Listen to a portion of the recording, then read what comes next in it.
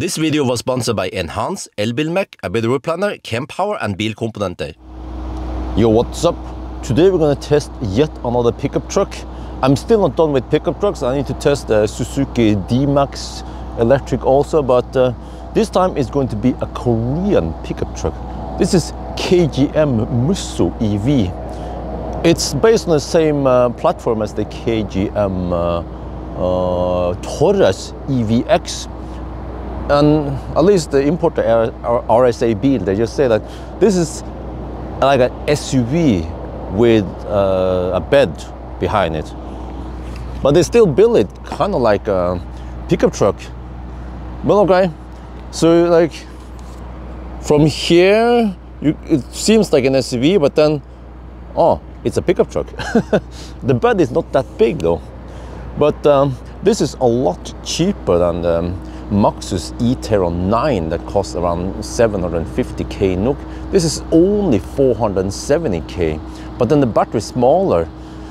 Uh, in the Maxus is uh, over 100 kilowatt hour, I believe around 105 kilowatt hour. Here it's only around 83 kilowatt hour, and it's LFP. So okay, so I haven't figured out how to open the bed yet. There's a bed cover. I'm gonna figure out later. I'm running out of time today.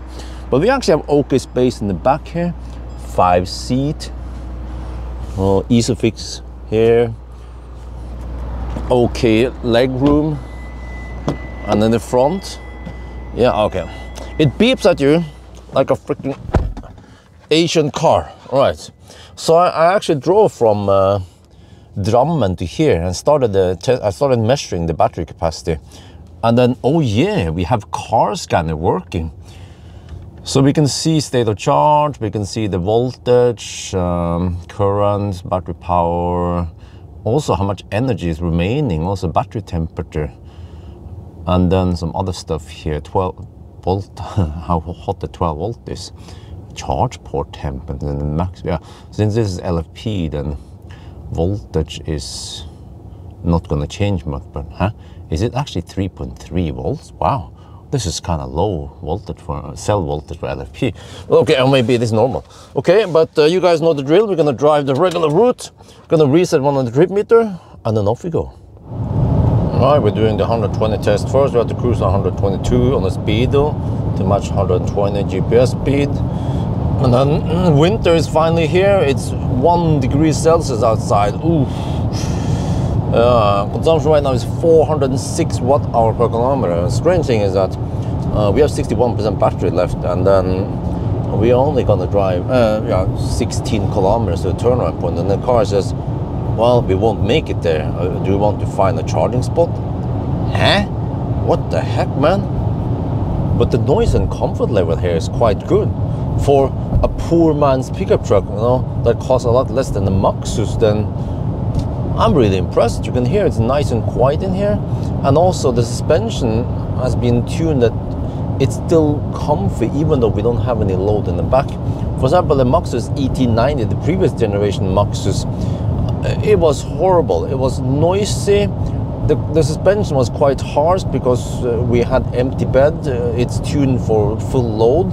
But here, you can actually use it as a regular car, like Thai people use. um, or you can just go um, uh, working somewhere, right? That's what they want to use it for. Oh, it's interesting. This shows you the speedo speed, right?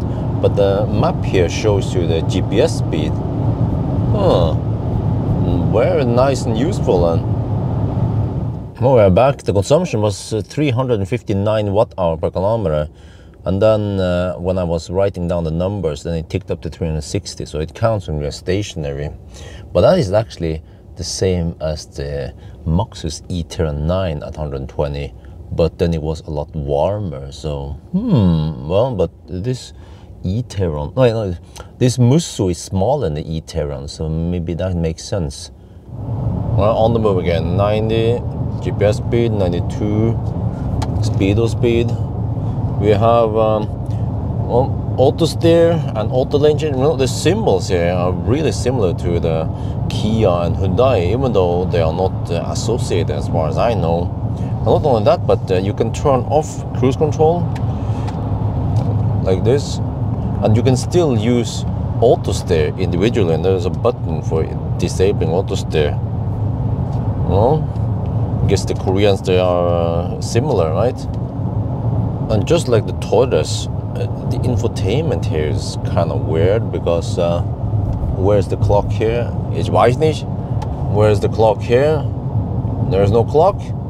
Well you can go home and then you see yeah 2:15 p.m. and no matter where I look in the settings I cannot find out where to change it to 24 hour clock which we use in Europe so that huh, strange the whole infotainment here just feels quite ancient if you go here if you go to vehicle setting wait for the lag yeah you see holy shit balls you click there and then uh, uh, go back here general settings wait for the lag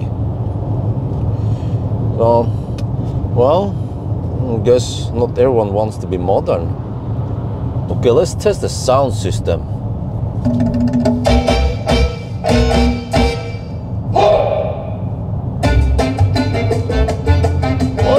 It sounds okay. Except for that, it lacks the deep bass. This kind of soundtracks, some reason, don't play too loud, and it's okay.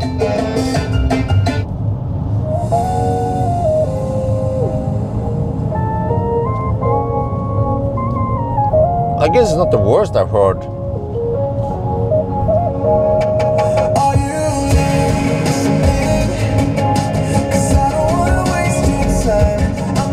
Car was it I tested recently? No, I think it was the Maxus. Yeah, the Maxus was really shit. Here you actually have okay sound system. It sounds clear at least. And you can enjoy the stereo sound.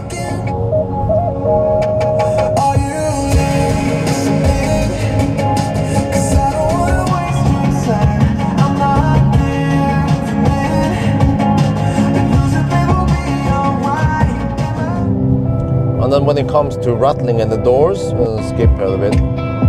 There are no rattling.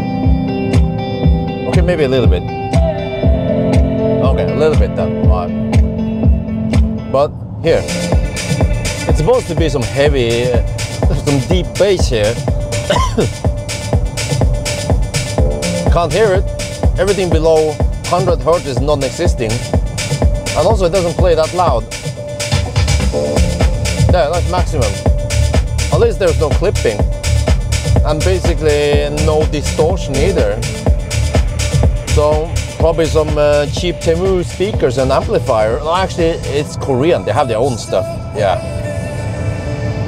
So overall, sound system. I mean, it sounds okay. Yes. Uh, if I'm uh, audiophile, I'll probably try to add some kind of aftermarket subwoofer and then it'll sound okay-ish. Yeah, so mm, score maybe four out of ten. All right, let's check the weight. Front axle. Wow, 1240 only. The whole truck. Oh. Well, that's it. 2460. I get the impression this is a small, light, nimble pickup truck versus the other we have tested. And so far 240 watt hour per kilometer, still zero degrees Celsius outside. And then how is Mjøsen today? Oh, very little wind. Uh, that's good for driving condition. I'm not sure where, which direction it is. Uh, yeah, it's light from the south, it seems like. Alright, this time was 251 watt hour per kilometer. That's not too bad actually, and it's lower than the um, eTerron 9 again at 10 degrees Celsius. Now it's 0 degrees. But uh, I measured that uh, this car underreports distance by 3%. That's massive. It means that actually the consumption is 3% lower. Okay, we are at uh, 31% battery. You can see there, kind of small, but yeah. So we need to get it down. So this car has preheating on the battery. You just press here. Wait. What? You saw it flash, right? Huh? What? Wait. Don't tell me that it's not working. Oh, oh wait. Um, uh, no error, nothing. Uh, I think it it might be hot enough, or state of charge is too low. I don't know what's wrong, but uh, okay, let's proceed. All right, I think we're almost done now. We're down to 11%, actually 10.8 here, more accurately. But uh, the battery heated up quite quickly, even with the battery heater off. So, well, I just wonder if you're gonna rapid gate. well, we're now at Ionity. I'm gonna do the charging test. But uh, see here, since 100% battery, we draw only 216 kilometers 316 watt hour per kilometer. But um, car scanner reports 11.1 kilowatt hour left. I wonder if there's some zero buffer, maybe 3 kilowatt hour below zero. Um, because if we have around 80 kilowatt hour, then we should have only 8 kilowatt hour here, right? Okay, battery should be warm enough. Well, let's see, how fast can we charge? Oh, it's ramping up. 93 kilowatt. It's supposed to go to 120. Mm, okay, wait, it's ramping up kind of slow. I can see here. Battery temperature 23 to 29. Uh, I mean, it refused to preheat. Uh, is it because the state of charge was too low, or are we cold gating? I have no idea. We're not getting 120 kilowatt. Maybe min temp needs to be 25 degrees. Wait a minute, it just has really slow ramp up. Wow, it needs to charge 6% in order to hit maximum speed. Oh, we're going, we're going beyond 120 kilowatt. Oh yeah. This is going to be a nice 1000 kilometer challenge. Look at that. Wait, are we charging faster than the eTerron 9? Oh, I don't remember what the speed on that one. I have to check. Look at this. It keeps going. It keeps going. So the the old, um, not uh, I mean the, or the um, the SUV version, you know, uh, Torres has a smaller battery and charges at 120 kilowatt. But here we have a bigger battery, still LFP, but wow, it goes faster in spec. Yeah, according to the spec, it's supposed to be 120. But this 820, that's for sure. Come on, keep going, keep going. Just the, the slowest ramp up ever. Dude, we're about to hit 160 kilowatt now. the, the Maxus eTerron 9 could hit only 127 uh, kilowatt, and that's roughly 105 kilowatt hour battery. This Musso is charging way faster and is a lot cheaper. Oh, it's game over. Maxus go home. Wait, I think I hit the maximum speed. Oh, what? What? No, nine, nine. What the heck is going on here? Shit. Okay, so we had a nice little ra- slow ramp up, and then uh, about, it just plummets. Um, and now it hopefully will stay at 122, right? All the way to what, 60%, 80%. Oh shit, this is gonna be one interesting 1000 kilometer challenge. According to numbers, and then if we use the 11.1 kilowatt hour, we get 79.5 kilowatt hour net capacity. According to spec, it's 81, so we have slightly less than spec. So if I base it on 10% remaining, then we get even less. So I, I don't know exactly how much we have here, but uh, based on the consumption and then corrected for 3% underreporting, um, we don't get that good range, but remember that it's cold outside. So if it's 10 or 20 degrees outside, it's going to be better. But um, you know, this is still a quite affordable uh, pickup truck, an electric pickup truck. And then, okay, it's not as big battery as the eTerron 9, but at least bigger than the Toyota Hilux, right? so, yeah. Well, yeah. So, I mean, overall, uh, it's a great car. I mean, it's good comfort, uh, not that noisy. Okay, slightly bouncy, but also not that big. Maybe if you don't want too big pickup truck, then you know this is a good choice for you. But uh, I just picked up the car today. Sorry for my noobness. And I only spend uh, four five hours with this car so far. So I need to test more and learn more about how everything works in here. But it's similar to the uh, to the um, e- uh, Torres I tried, yeah. But um, still, I feel like maybe some of the tech in here is kind of um, old-ish. Yeah. Okay, whatever. Like, why, why don't we have a, a 5C battery here? Like, it's LFP. Okay. Okay. Okay. Maybe too much to ask, but I mean, if there's if there's a, a car segment that needs the 5C 60 battery, it is the pickup trucks because they are in general kind of thirsty. They might be hauling stuff.